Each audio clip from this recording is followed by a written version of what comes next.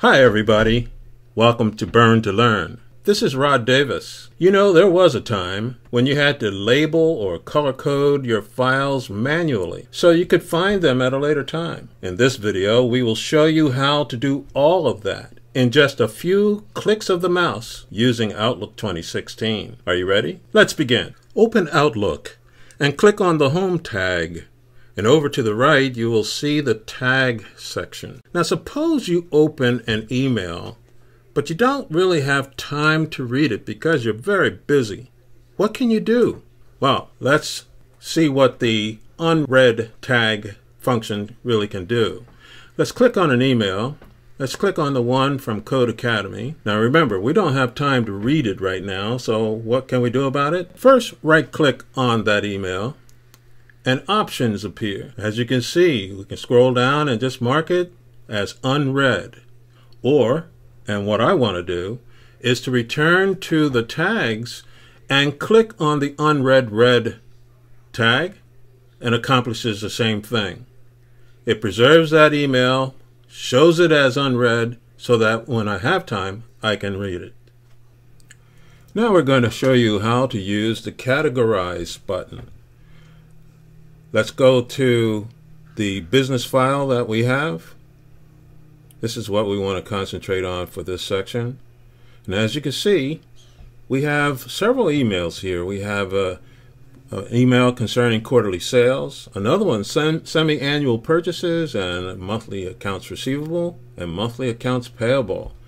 Let's work with sales. Let's click on sales and then scroll over and click on categorize.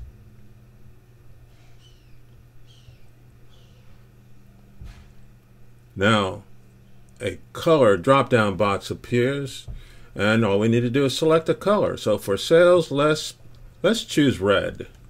Sales are hot. You know, if you have different kinds of sales and you want to show each type, you can add another color. Let's say that this is the sale of, of say, houses. Let's click on Categorize again. And choose another color for, to show the sales of cars. Let's choose blue.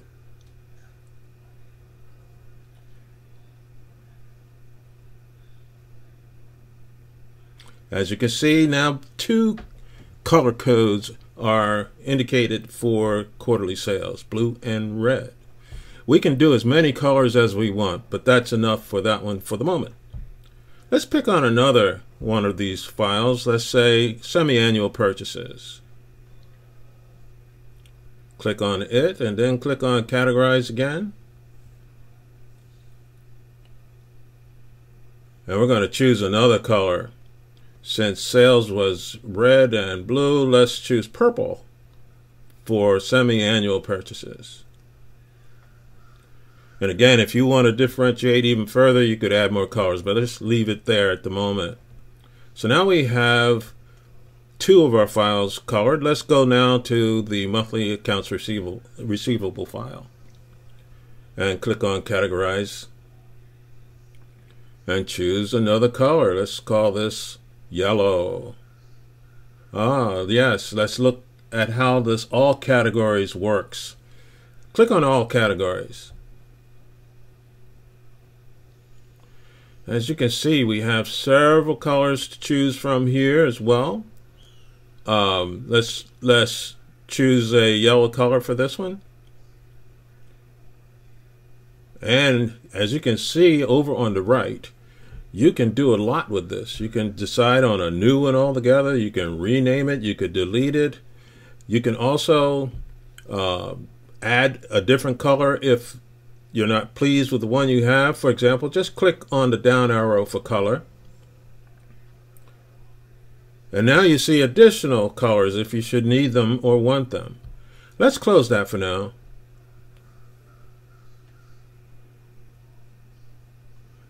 And let's look at a very important feature called shortcut key. Let's hit the down arrow for that. As you can see, there are several options. You can control plus F2, 3, 4, etc. Let's decide to have a shortcut by choosing control plus F2. Now, as you can see in the window, the shortcut key is indicated for this category. This category being accounts receivable. So when we go into our, our Outlook, all now we need to do is click on Control F2 and that file appears automatically. When you're comfortable with it, you click OK and there, then it's done. Or you can rename it. Let's click on rename and show how to do that. So let's call it accounts receivable. And then click on OK. And we've renamed it. Okay, let's now go to the monthly accounts payable file. Click on that. And click on categorize for that one. Let's go to all categories again. And now for accounts payable, let's decide to give it another name. So click on new. Let's call it accounts payable. AP for short. And choose a color. Let's let's change from what we did do and go to the color red. This is what uh, is suitable for bills. And let's give it a shortcut. Right now we have none. Let's give this one F5. That looks good. Click OK. And click OK again. And there we have now categorized every one of these files with a color code. Very simple to do. Just follow these steps. We've done ourselves a tremendous favor in organizing our files by categorizing them.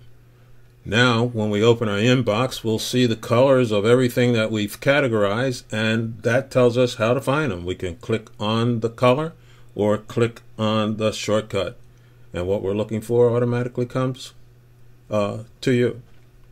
So now let's show you how to use the follow-up function. Let's pick on accounts receivable. Let's click on it, and then click on the follow-up.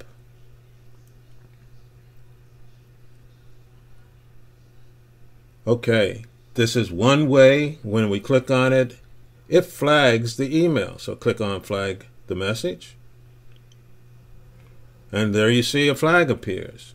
There's another way to do this. For any email, you can slip, simply hover over the flag and click on it.